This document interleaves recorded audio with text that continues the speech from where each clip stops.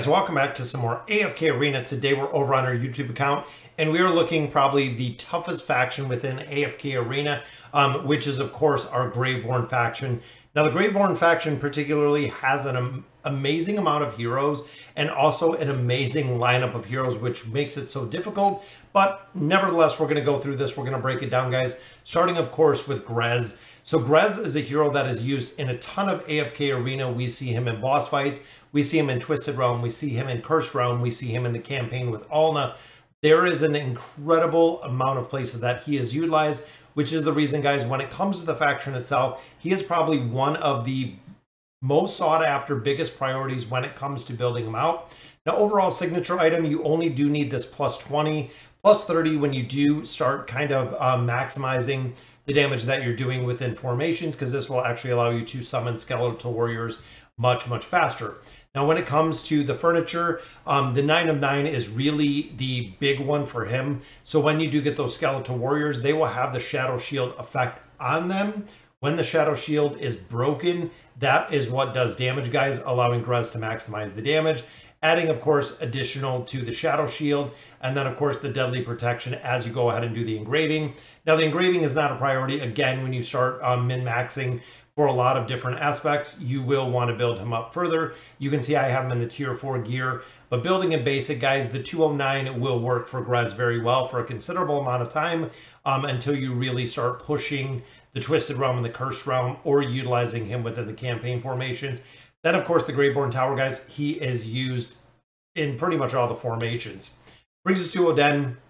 Oden is probably the strongest um, Graveborn damage dealer. So when you look at signature item, when you look at furniture, when you look at his engraving, the higher you build him, the better he's going to perform, guys. All of his abilities, including his signature item, just gets stronger and stronger. Attack rating is higher, haste is higher. Even looking at his furniture, guys, um, allows him to passively use Void Lightning, which again is going to do more damage. The enemy with the current highest energy absolutely energy disintegration is awesome but doing a lot more damage with this is amazing with the signature item. Then of course guys a little bit more damage but the plus 60 engraving on him. Attack rating is increased by 18% haste is increased by 20 um, haste of course being one of the biggest attributes within afk arena the more you build him out the better he is going to perform damage wise i recommend 30960 on him guys being completely maxed out Bring us to Izold. Now, Izold used to be a hero that was a very solid carry. Um, as of now, he does work in some campaign or some um, of the tower formations. If you don't have him really built out, again, it, it's not going to be a huge priority miss. He's used in, I believe, one of the Twisted Realm, maybe one or two of the Cursed Realm fights. But ultimately, again, you get into the min, min maxing with him um, when you want to build him out. That is why I built him out. Overall, guys, he does have the ability to self-sustain if you can get him um, to scale. So it does take a little bit of time for him to get his heal up. Once his heal is up, if you're building him up, it will work well. Again, looking at earlier game, even looking at campaign, he's not used for anything um, short of the Graveborn Tower and possibly, again, a rare niche formation. Um, here and there, you're not going to see much of a use for Izold. Now, Thoran is the king of cheese, of course, the only place he is really used. Um, we see him in the towers, and then we also do see him in an incredible amount of campaign stages because as the enemy gets stronger, his retaliation ability will, of course, do more damage, which makes maximizing him out really, really big. Um, plus 30 signature item, absolutely on him. Early game, you have to unlock it. Plus 30 is where you ultimately want to take it. Um, furniture, again, on him, not a big priority. Three of nine is good just for the little bit of a draw in. And even the energy points here again can be a little bit in. Now, one thing with him, guys, do not engrave him. I repeat, do not engrave him, guys. You want him to take more damage. If we get an engraving reset, he is probably going to be the one that I'm going to reset because you do not want, nor do you need the engraving on him. Looking at Silas, now Silas is one of the best Graveborn support heroes. Him and Desira actually changed. We waited about two years till we finally got a support guys. And when they came out with Silas, they did not disappoint at all. A couple big things, guys. The plus 30 signature item on here. Allied that here have more than 50% max health, increased attack rating by 20%. That is huge. That is absolutely huge at the 20%. Also with this furniture, guys, makes a very big difference because the effects of the skill can be utilized by ranged ally whenever injected fury is used. That is right, guys. Normal attack, frequency of normal attack goes up, which is awesome with his furniture. Um, a lot of players go for the plus 30 with the engraving in here. It does a little bit more um, healing. Um, if you're really looking to build him out, guys, the plus 60 on him is good for the mitigation. Unfortunately, with the healing haze or with these clouds, they do not stack, which is the reason, again, an E30 would be good because all of his heals are based on the attack. So the stronger and higher that his attack is, um, the better the heals are going to perform by him. But ultimately, guys, the engraving is not really a big requirement on that one. Ferael is another hero that offers an incredible amount of crowd control. And similar to Oden, the more that you build him out, the better he is going to perform. Not only does he do a lot of crowd control, but he also does a lot of energy reduction, which is the reason why so many players do build him. Um, looking at the plus 30 signature item, guys, absolutely. His furniture makes a really, really big difference. Um, a cursed arrow as his normal attacks, which is very good. Getting up his spirits with that. And then, of course, this plus 30 um, is a little bit further down the priority for the faction, but a lot of players do like it because of the additional crowd control. So your stun actually lasts a second longer. Um, overall, again, he's not a hero that is used within Twisted Realm. We don't see him in Cursed Realm. Only place we really see him is, is in the Ulnagrez or in the Graveborn Tower, where a majority of these heroes are really utilized. But early game, he can dominate with the crowd control guys. He can actually lock down entire teams, allowing you to progress within the campaign. Once you start getting to late game, end game, um, he is still used in a couple formations again for that crowd control aspect. But when it comes to Cursed Realm, Twisted Realm, things of that nature, not really utilized in any of those formations. Um, Baden is very unique. Now, Baden is a hero that really doesn't have a use. I believe one Cursed Realm team utilized him for a little bit. I don't even know if they use them again. You're really getting into the deep woods with the min-maxing, um, trying to maximize the damage that you're doing within different game modes. Um, ultimately, he's a hero probably I wouldn't focus on building really high. Again, I built him up pretty high just for the simple fact that one, we had him already at five stars, and he was used, I believe, for one Twisted Realm comp, but I don't think he's used for that comp anymore. And again, can be replaced by a couple other heroes, not a big priority to build out Baden. Now, Daimon is the ultimate carry. Now, when you talk about carry heroes in AFK Arena, which is a hero that can pretty much do it by himself, um, Daimon is that hero, guys. Shemira used to be the hero with the heal ability that she possessed. Daimon does it um, very, very well and in a similar manner to what Shemira did. Um, plus 20 signature item on him will do really well. Same with the furniture. If you get the 3 of 9 or the 9 of 9, they will both do incredibly well if you're utilizing Daimon for a carry.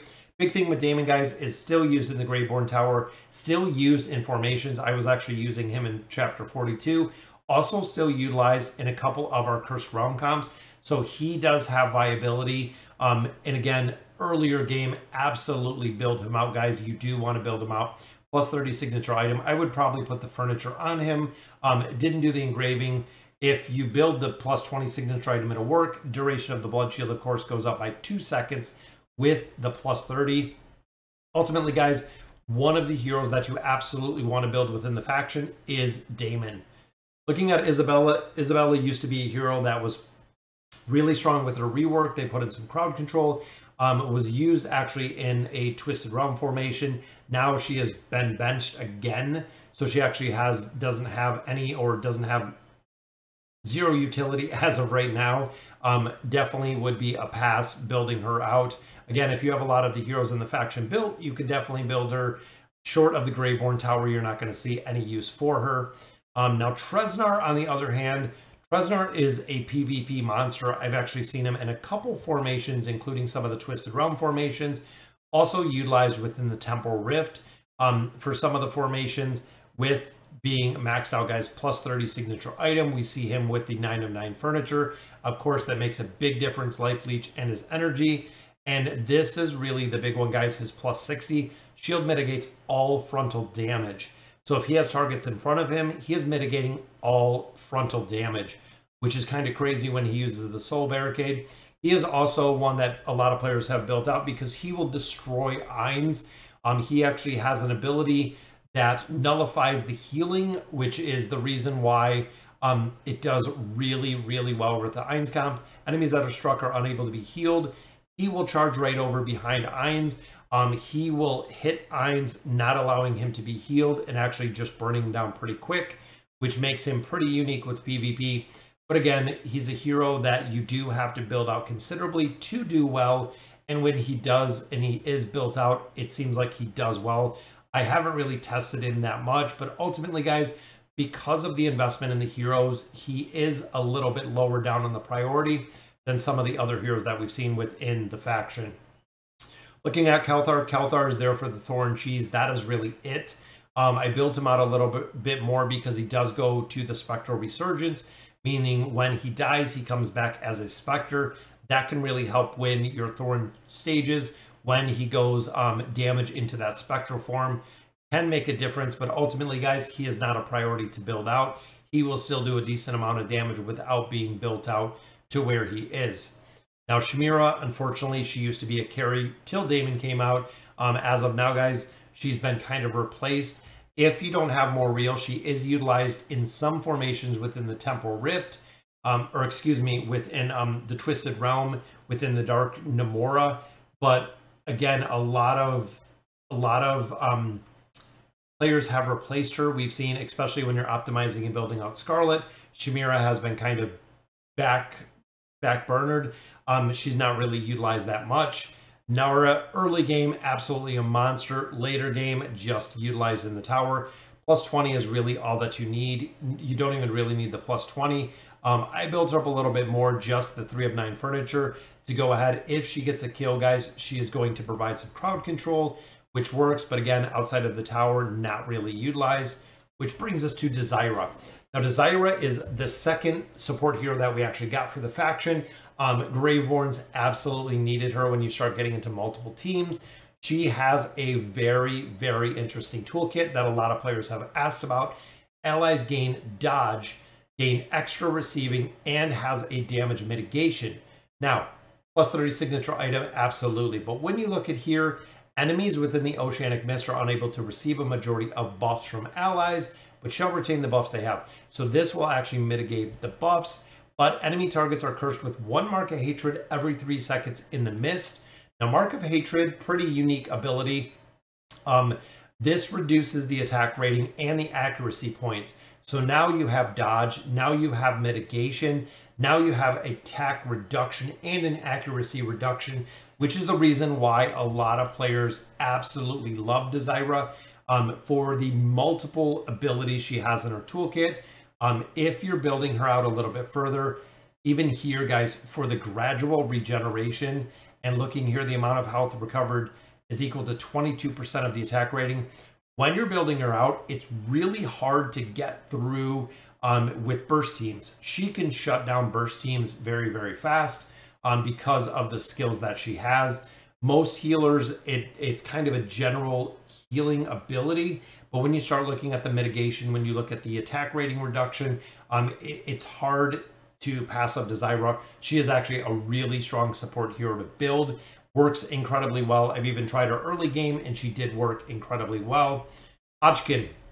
Now, he has been one of the most predominant buffing tanks that we've probably seen in an incredible amount of time plus 20 signature item on him. Um, furniture is where a lot of people say this is one of the big ones, guys. Um, is the efficacy damage redu reduced by 35%. Um, if the same enemy is siphoned again, they deal damage equal to, so they will be dealt damage, so Hodgkin actually does damage. But a lot of players said, guys, 9 of 9 is really where you want to use it for this. Um, the healing efficiency and the damage re reduced Healing efficiency, of course, big when you want to take out targets. Um, some of his abilities, guys, the Jolly Roger, allied within range, get a 30% attack rating and defense buff, which is huge, guys. Um, the plus 30, I, am on the floor, I, kind of on the on the on the wall with with if this is really worth it. A lot of players do build him out to a plus 60. I think there are a lot of other heroes that have a much higher priority than Hodgkin.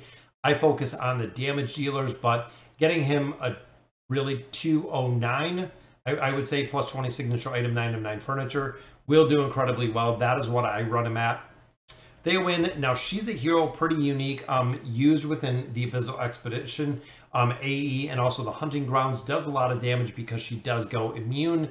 Um, she's another he another hero that the more you build her out, the more you're going to get out of her. But again, within the faction itself, not a very high priority. Kind of one of those niche heroes again that you're going to find kind of the one-off battle where she works really well. Other than that, guys, not a really big priority to build. Torne, the exact same. Not a huge priority. He is used in one cursed realm, one or two cursed realm comps. Um, ultimately, outside of there, he's not used anywhere. When you get into, again, the min-maxing within the cursed realm, that is the only place you're going to find him. And that is only in addition if you do have Morael built. If you don't have Morael built um, from the Celestials, there's not going to be any reason to utilize Torne. Then we have Kalene. So Kalene, very unique, guys. Um, a lot of players have played her up front as a tank.